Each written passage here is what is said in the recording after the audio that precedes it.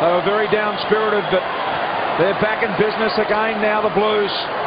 And they play particularly well in the second half. They play the Tigers next week and Sydney the week after, so a chance to put a couple together.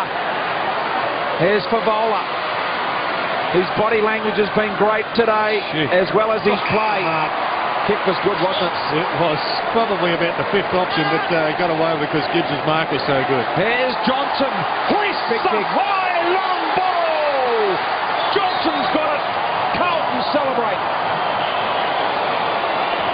Yeah, well, he's... Uh, Jackie, you said it was a good game. This has been a great game It of footy. I know Fremantle, unfortunately, for their supporters, won't win.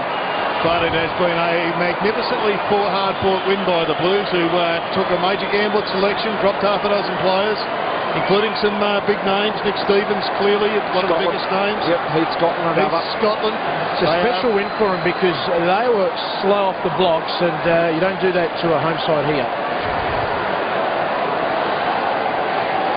Well, Fremantle have been simply bombarded in this last quarter. Seven goal to one